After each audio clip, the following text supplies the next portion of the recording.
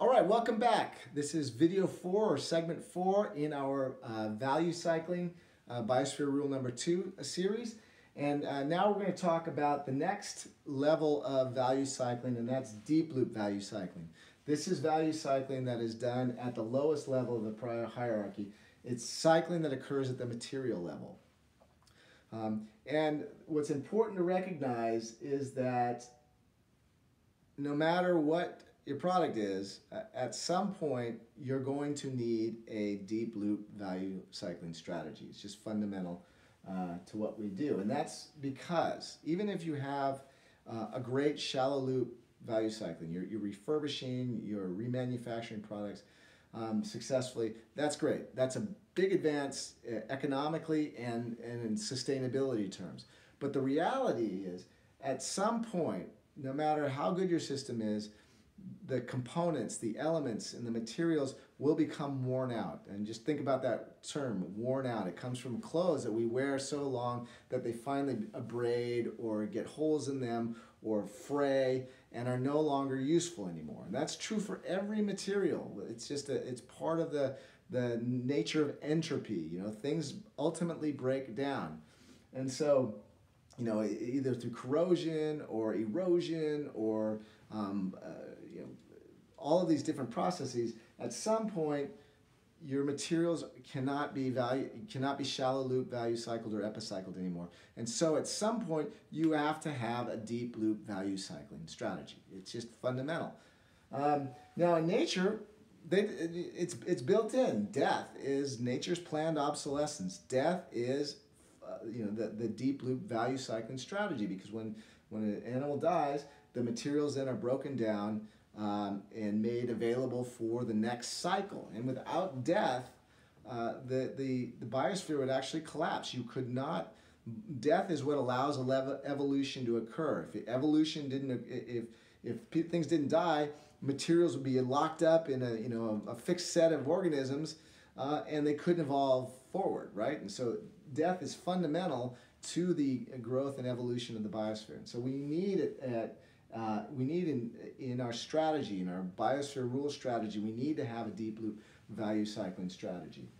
Right? Now, we already take advantage of a deep loop value cycling strategy. Uh, hu human industry has been doing that for a very long time, but what we're doing is we're taking advantage of nature's deep loop value cycling anytime we, we use a natural raw material or a natural uh, resource, right?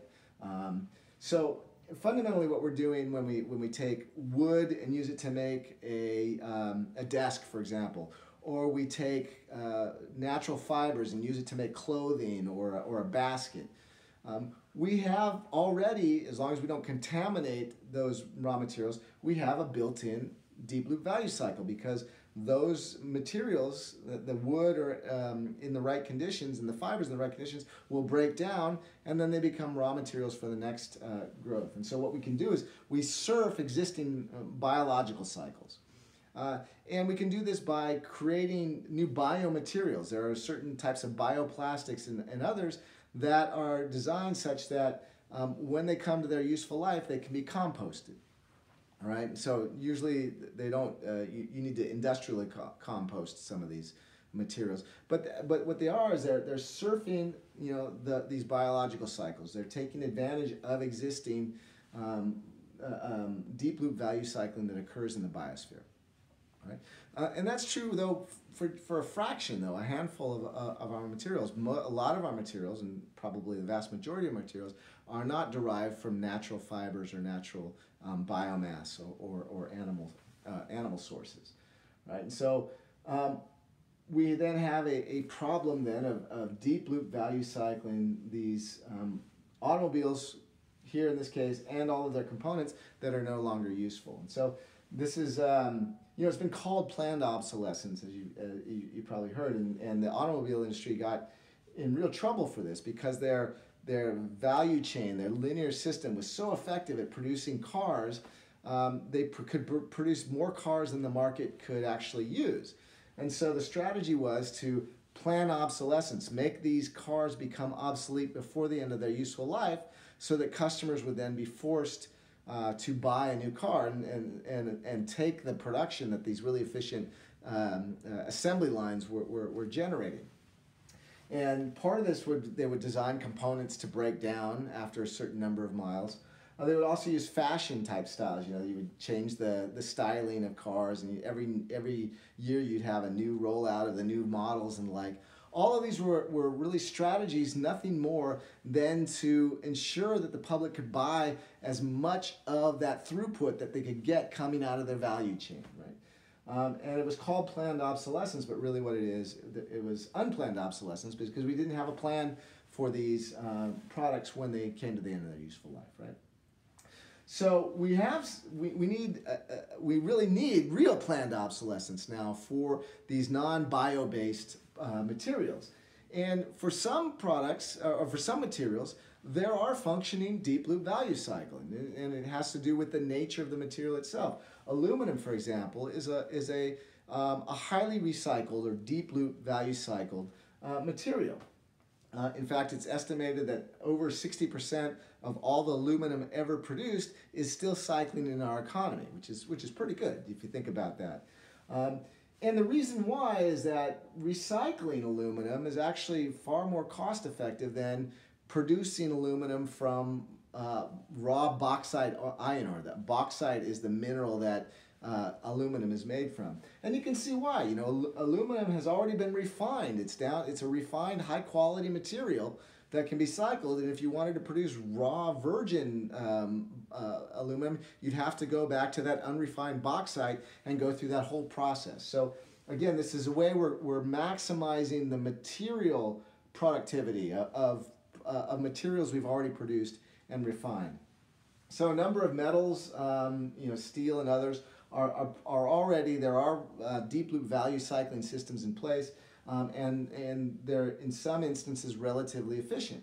But again, metals and natural fibers are only part of our um, a part of our uh, material world in which we uh, which products are made of, um, and so um, increasingly there's uh, there's other materials, largely plastics, and plastics for many years now have been growing the, the fastest growing part of the materials uh, basis of, of, of, um, uh, uh, of products, right? And so what we need also then is deep loop value cycling opportunities for plastics.